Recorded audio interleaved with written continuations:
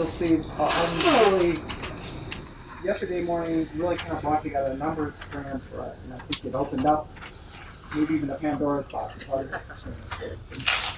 I'm going to say a few different kinds of reflections, and I think you'll see where I'm going. Um, so I'll just, first of all, go through the three. Um, Galen's talk to begin with, um, I just want to highlight a couple things that she said that really struck me. Uh, she said and argued that language is full of psychology. And I think that's a theme that has come up again and again throughout this conference is the power and the magic of words because words can connect to not just our cerebral cortex in a sense, not just to our deliberate analytical mind, but they can touch us in the deepest deepest parts of our heart and deep into the unconscious. And can cut in all kinds of ways that we don't necessarily expect. Um, I'm particularly interested in my own work on the connotative meaning of language, and I'll talk more about that tomorrow in relation to climate change.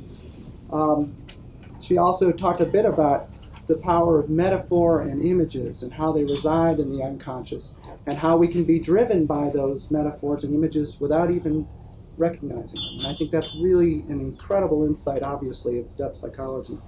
And that unfortunately, that same knowledge is even now being used in the marketing and PR world.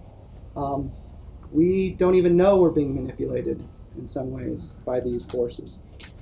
Uh, and one last comment about that is that Jeff asked, I thought, a wonderful question towards the end of that. He asked, What are the images we need today to convey the messages we need today?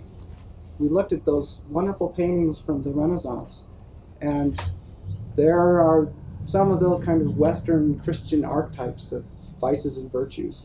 But I don't know that they speak to this time, this kind of postmodern MTV era, um, very well. And so it's a great question. What are the images for us? Um, then I want to turn to Dennis's talk, and in particular, Dennis's dream, which just, I, I absolutely love that. Um, mostly because it was so simple. There was nothing sublime. It wasn't thundering waterfall. It wasn't the giant, the precipice. It wasn't this crashing ocean. It was a meadow uh, in a, on a farm. And having grown up on a farm, I, I also identify with that up in the upper Midwest.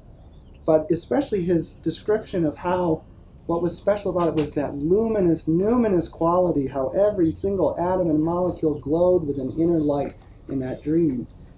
Um, I mean, I've had, I've been fortunate enough to have dreams that had that same kind of golden suffusion uh, uh, glow to them. And it strikes me there's a really interesting parallel, I'm sorry he's not here right now, with David's presentation. Somebody used the word incantation. And I think that's about right. It's an, David has the power to invoke a trance in an audience and to give us, to jolt us, just for a moment perhaps, out of our kind of mundane workaday world to remember what it's like to really touch the body of the earth, to breathe in the air, and so on. and so I think in some ways, listening to David, and I've done it for several years now, uh, I always find that he brings me into this kind of trance like state that's kind of analogous to the dream experience. It's an unfamiliar, unfortunately, numinous way of perceiving reality. Yet we live in waking reality where we have to acquire food, raise our families, work, etc. And so a question emerges for me out of this is how do we bring these traces of the incantation, the trance, the dream, back into everyday life? How do we find ways to remember and not live there? I mean, I, don't know that I would want to live in that kind of numinous quality all the time. It'd be hard to get things done. Um, but how do we bring those traces back and let them inform us, even if it's on the unconscious level? Another thing that he said that I, I just love this metaphor. Mythological motifs, religious practices, and poetry, he said, are like powerful magnets. And let your conscience be like iron filings to be drawn to and reoriented that narratives and myths and stories not only pull us in because we recognize something about that provides order and structure to the kind of jumble of feelings that we may be having at the moment. So we find something that pulls us into that into that story. But then once we hear that story, it actually reorients us. Just like the iron filings, the, the positive and the negative poles are reoriented to match the magnet. I love that idea that you are transformed through the story. Um, and then David's talk. I mean, I've already mentioned this before, and so I'm, I will not say a lot more about that. But this gets me to one of the things that I think is missing, um, or has been missing. And I, it comes up in small traces once in a while, but I want to bring it back in in a direct way.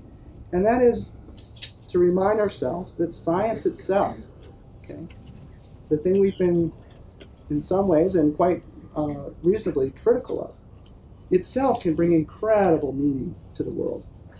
And that science itself is an incredibly creative and imaginative act itself.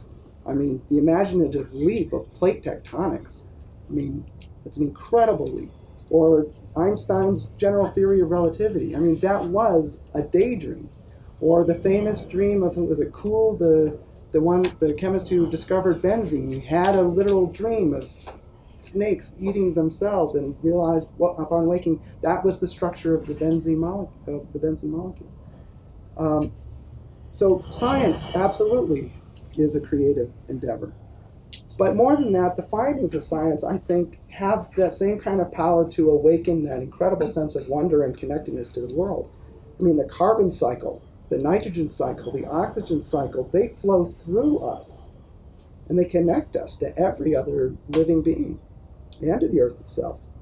Um, I mean, just as an example, we're not only just exchanging ideas right now, but we're literally exchanging pieces of our bodies. I mean, science tells us that, you know, what? We all contain a thousand atoms that were once in the bodies of Jesus Christ and Attila the Hun and Adolf Hitler and Mother Teresa and the squirrel that lived two million years ago and the dinosaurs that lived 65 million years ago.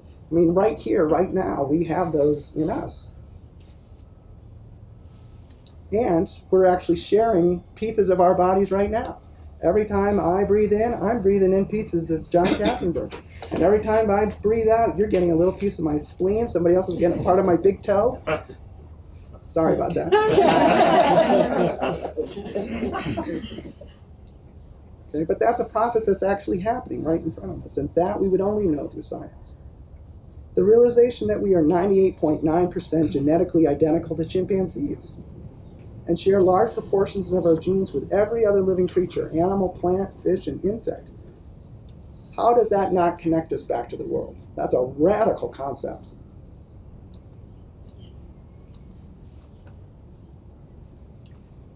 That all the heavy elements comprising our body were forged, as Sagan told us, in the heart of stars that exploded and spread their traces throughout space to slowly accumulate in this earthly body out of which we emerged.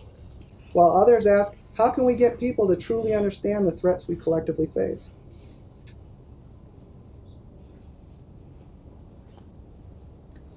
And I've noticed that as an observer, the occasional stereotype, caricature creep into our conversation. Scientists, science and scientists is devoid of anything but detached abstraction. Business is purely about greed. Politicians is completely corrupt the public as, in, as ignorant and in denial. And it seems to me that this way of speaking, and we all recognize the power of, and precision of words, this way of speaking glosses over the tremendous diversity of personalities, perspectives, and positions within each of these communities. They are all far more complex than these simple caricatures. I pleaded before for metaphorical pluralism, and I guess now I'm pleading for perceptual pluralism that each of these is a different, unique, and invaluable way of knowing. These aren't either ors because ultimately we need them all. And this brought me back to uh, a quote by Carl Jung. He said, In my picture of the world, there is a vast outer realm and an equally vast inner realm. And between these two stands man, facing now one and now the other. And according to his mood or disposition, taking the one for the absolute truth by denying or sacrificing the other. Okay. I think science needs to take responsibility for its intellectual origins and legacy. But the science of today is not the same science of, of Descartes and Bacon and Vesalius. We need to reconnect with our deepest internal drives, images, stories, and myths, but not at the same time become lost in endless navel gazing. We need to reawaken our sensual engagement with the world, but the senses alone cannot tell us about global environmental change or the invisible and tasteless toxins and endocrine disruptors that flow through our bodies and waterways. I guess I feel like everyone else here that I'm struggling to reconcile to integrate these disparate voices into some kind of a harmony. And I feel it particularly because I am or have been a member of each of these different communities. I'm trained as a scientist. I've had incredibly powerful and intimate relations with particular places. I spent years doing Jungian inspired dream work. I've been steeped in the ideas and in arguments of environmental history and philosophy, and I've worked in both politics and business. Uh, all of these conflicting perspectives and narratives coexist, sometimes quite uneasily, within me, and which is why it has been so provocative and so rewarding to listen and learn from you all. But at the same time, I'm reminded of this quote by the poet Ernesto Sabato.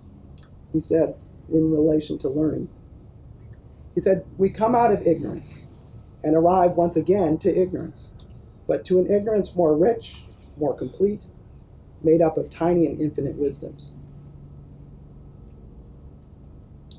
Okay, and so I'd like to end with my personal story. We've been sharing our personal stories, and so I've been wondering what was the right one, and I finally realized that this is probably the one that, for me, somehow, some weird way ties together a lot of these disparate elements. Um, as many of you know, I used to work here. Um, I spent four years here in the early 1990s as a staff member of the Aspen Global Change Institute. Uh, an incredible experience learning about global environmental change and in particular global climate change from many of the world's leading scientists. And it was an incredible education. But it was pretty abstract.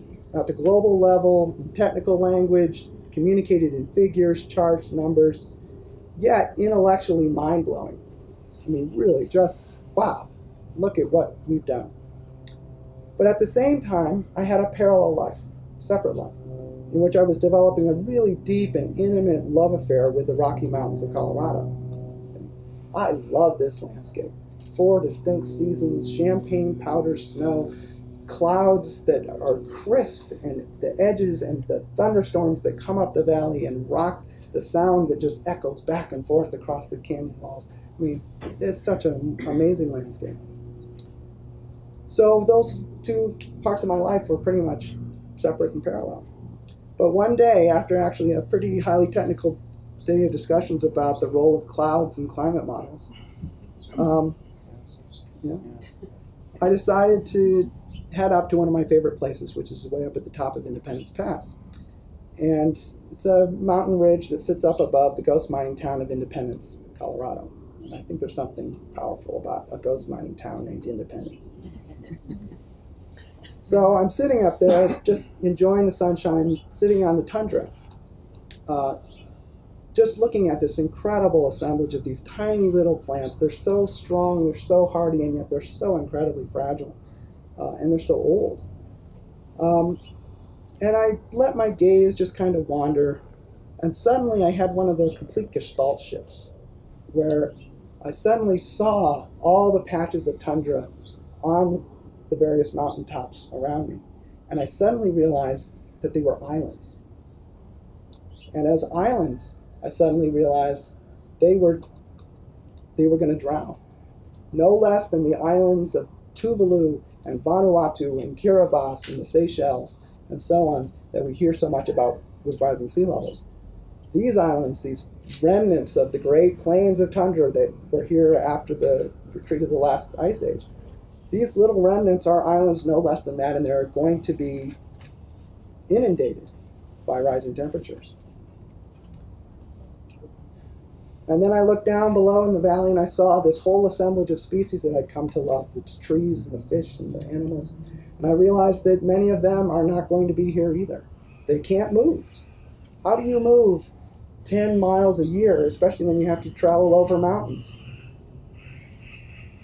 And then my eye kept going down the valley, and I saw Aspen twinkling down below. and I imagined these giant mansions scattered over the hillsides, sitting empty except for two weeks a year, right around Christmas time. And the Range Rover 4x4s filling the town that had never tasted dirt. And the finest, freshest sushi at 8,000 feet and more than a thousand miles from an ocean. And again, in this kind of sudden flash, I suddenly saw in my mind's eye this a giant plume, a like mushroom cloud of carbon dioxide billowing out of this town and up into the sky. And then I saw another cloud emerging out of Basalt, and another one out of Carbondale, and another one out of Glenwood Springs, and off in the distance, a huge one coming out of Las Vegas, and Phoenix, and Los Angeles, and suddenly I realized it was everywhere. And so suddenly I really got it. I really felt like I understood global climate change, understood the scale, the scope, the consequences of this problem for the first time. And this vision, this daydream, daydream, has saddened me, frightened me, sickened me, and inspired me ever since. I've carried this vision into each of the landscapes and places I love most. Um,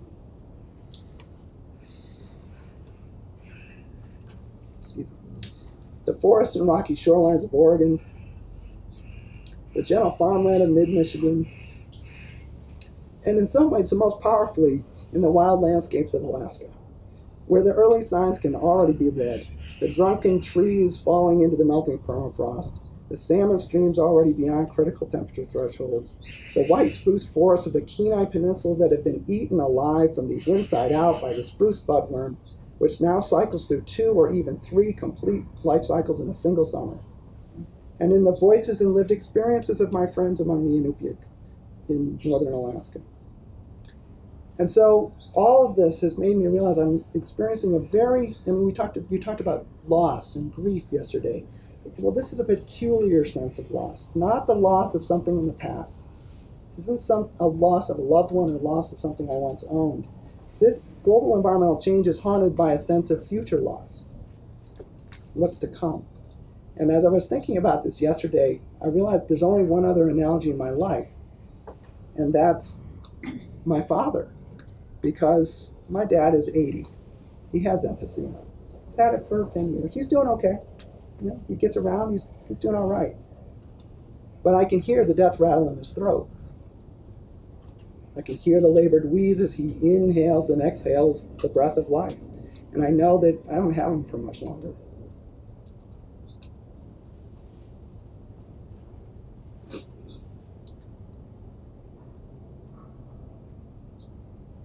So finally, to come back to the story and finish, finally I brought my vision back across the west, up the Roaring Fork Valley, past Aspen, and then the ghost town of Independence again, back, back, back to the tundra under my feet.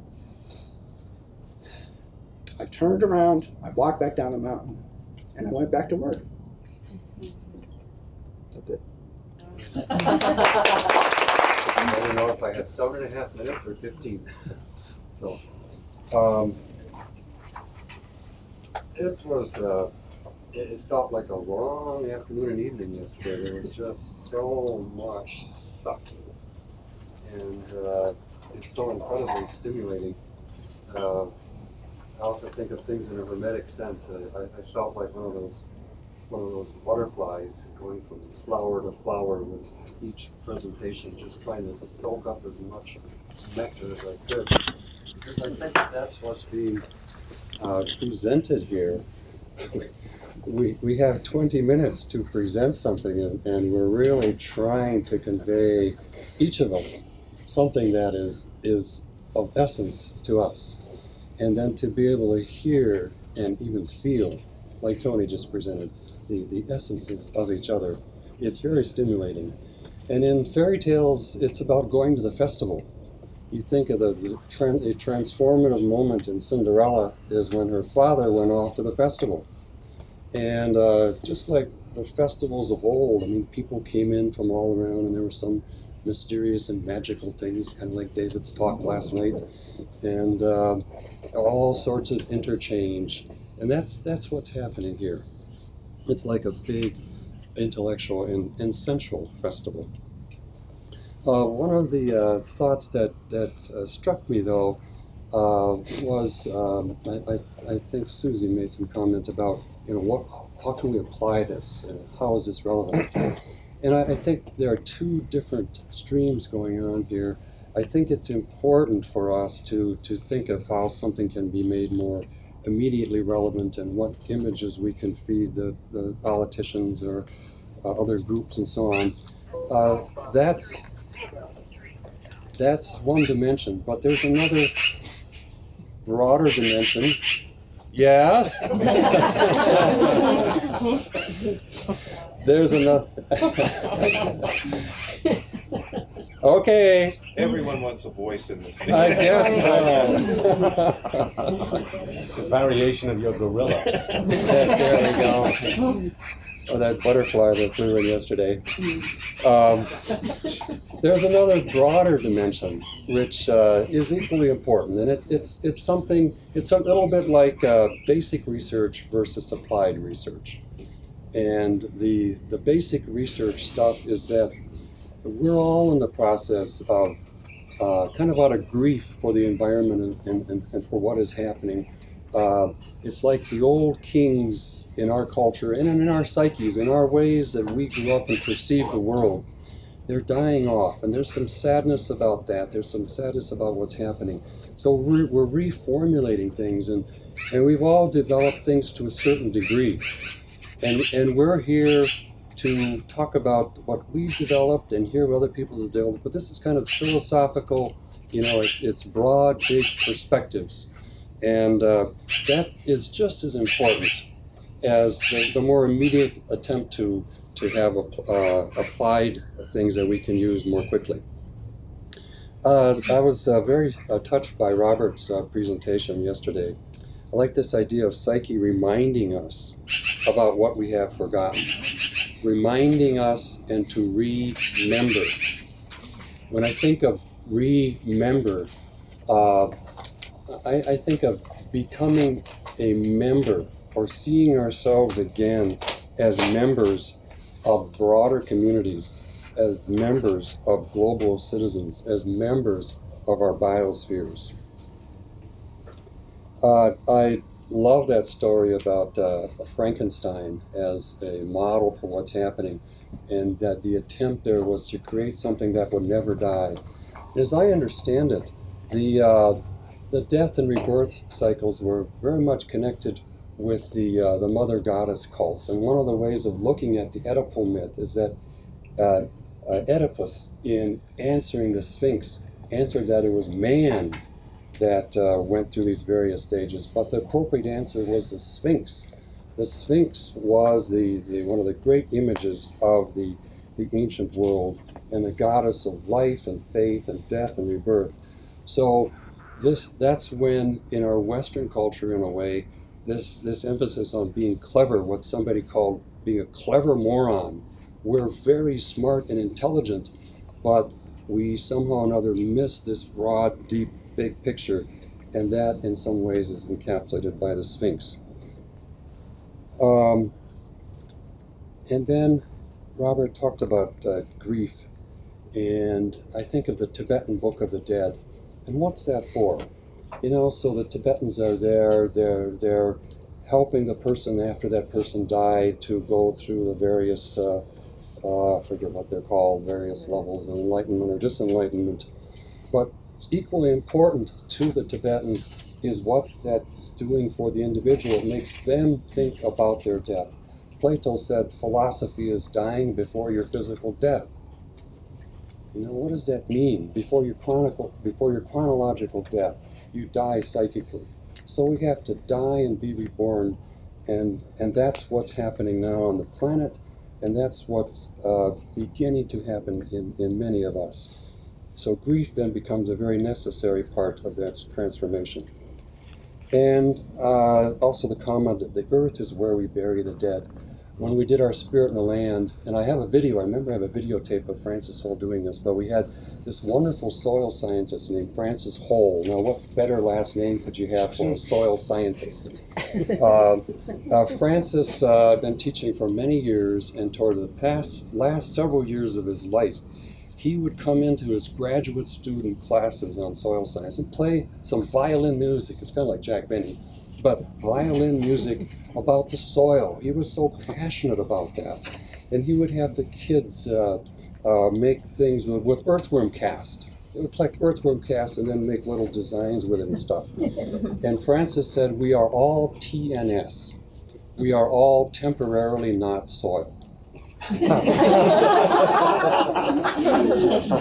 earth is, is not only the realm of the dead, but for a microbiologist, it's incredibly alive. It's full of nematodes, it's full of all sorts of little insects and protozoans and stuff like that. And that's why it's such a rich smell. Uh, Jung said it was, and this relates to uh, Jeff's dream, those primates, uh, fingers in there. Jung said it was important for city dwellers to have a plot of land to work so the primate within us could come forth. Now, when he talked about the two million year old man within, do you know how far back that goes? That's well before humans. I don't know if that's even before Lucy. And he was pretty well aware of evo- evolutionary theory. So this is part. This is our our most nat- natural part. I think what David was talking about that responds like an animal to the world, and it's that level. That's what one of the levels. When you talk about archetypes, we're just talking about basic themes. They can even be, things like basic chemical processes. But when you're talking two million year old man and woman, you're talking about relating to the earth well before this big cortex and neocortex was developed. Um, and also then getting uh, just a bit about science. Uh, science, it is science that gave us this new image of wholeness. The earth rise from the moon. You know, science gave us that image. This incredible, uh, incredibly sophisticated technology. And while, while I'm on the science thing, uh, David is just a masterful presentation, like like somebody said earlier, of, of giving us the spell of the sensuous. Uh, that I associate more with the uh, the hermetic side of things, uh, flighting, uh, kind of flighting in the body, physical, and so on. But the Apollonic side is equally beautiful. I think, I, I, I think uh, that scientists in a way can appreciate the world more than anybody else. I had to teach, uh, had to teach to survive, yes, uh, advanced placement biology while I was training at the Jung Institute to make some money to support myself. And uh, at that level, I really came to appreciate this incredible sophistication for, for a chlorophyll molecule to uh, uh, capture a photon which has no mass, and then for that the series of of molecules that have to be in the proper sequence, each one very complex, to, to be able to transfer that energy down to till some chemical bond is made.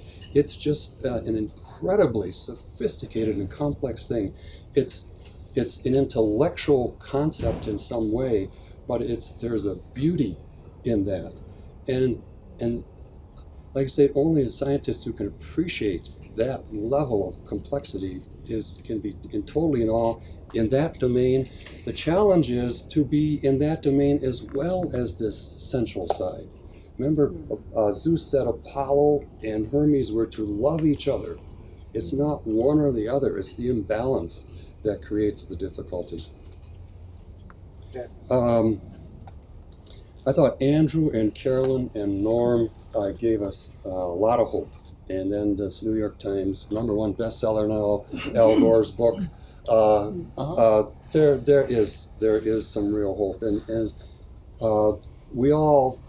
I have to speak for myself. I, I've I spent a lot of time working on Jungian eco psychology and putting all these things together, and I haven't been able to keep up on all these other dimensions. But there are just so many things that I've heard. Oh yeah, this is happening. This is exciting, and and so on. So I, I, I'm just soaking soaking this uh, this type of information up. Um, and then the comment about Aristotle. I love that idea of a citizen uh, is somebody with a duty towards others and a commitment to the common good and active participation in public affairs. That reminds me of a dream that uh, Hillman presented in uh, one of his articles dear to my heart called Going Bugs. Uh, when I got to the Jung Institute in Zurich, uh, Hillman loved to play, play, play baseball. He was married to uh, Pat Berry at the time, who was a, a softball star at Ohio State. So every 4th of July, Hillman would find a place in Zurich where we could have a softball game. And we're riding up to the uh, this softball field on the 4th of July, and he was he was trying to encourage me to do my thesis in, in Zurich on insects. But I was trying to get as far away from entomology as I could at the time. Anyway, I didn't know he'd been collecting dreams of insects and animals for years. And in, in his article, Going Bugs, he talked about a woman who was confronted by a big praying mantis. And she asked, uh, the mantis asked the woman, Are you a citizen? And uh, Hillman worked with that, and- if you put it in the gestalt, okay, here's somebody from a very low, uh, somebody, subjective, okay, an animal from uh, evolutionary wise, very primitive. Uh, and it's asking, Are you a citizen? About the only way you can take that, because this is very much related to David's, David's talk. Insects are so totally plugged into the world of the sensuous. Sense of smell, they've got taste buds in their feet. You know, they've got ears in their legs. Uh, they've got, they can pick up on one, a Cecropia male can pick up the molecule of, of just one molecule of female moth, I don't know how many miles away. It's phenomenal. Okay? So, um, one has to admire that. so, uh, That worked both ways. that's true. Uh, so I think Hillman's point was: Are you a citizen of the biosphere? You know, are you a citizen of the organic world that you're that we're all a part of? Uh, one of the people that I've taken a great deal of ins- inspiration from, and with regard to many different groups working together and all contributing, is Phil Lewis in Wisconsin. And if you're not familiar with his work, uh, of the Future by Design, he's somebody that Gaylord Nelson, when he was governor, raised the, the cigarette tax a penny a pack and hired Phil Lewis to come in and assess the whole state of Wisconsin. And so he developed ways of assessing what aesthetic beauty is. There's a certain grade of a hill, or a hill in relationship to water, that every human being finds attractive. There's more attraction in a forest with some clearings than a solid forest. This, this can all be measured. And he assessed the whole state of Wisconsin like that, and as a consequence, came up with the Circle City idea that you have your, pe- your people concentrated in the cities, and you keep your farmlands and your uh, your uh, parks and stuff open, and then you have good transportation, uh, light rail and so on between the cities, instead of having these mech houses, you know, scattered out throughout the landscape and suburbs just creeping out and out. When we flew into Bavaria a couple years ago and we were coming down, I could see it. All the houses are clustered in the cities, and then they're surrounded by farmland. There aren't just you know these big, ostentatious houses scattered everywhere. The Germans have kept those cities, those villages bunched together. Okay, just a couple of more comments. Oh, is it 15 minutes? Yeah. Oh, okay. Okay, good. I'll stop.